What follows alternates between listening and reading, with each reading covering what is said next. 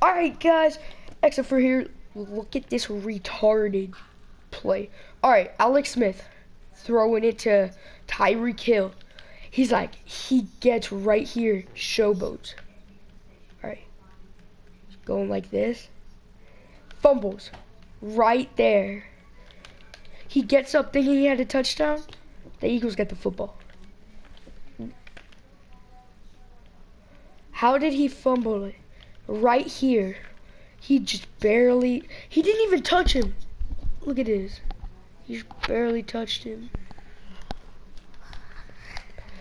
He just barely touched him. Uh, and this is my friend on the mic. Say what's up. What's up?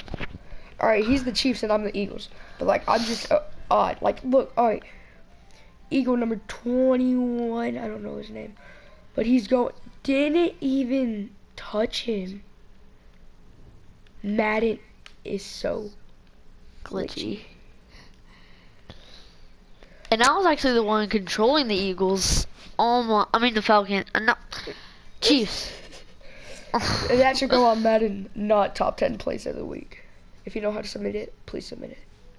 I see you later. Have a good day or night wherever you are. Peace out.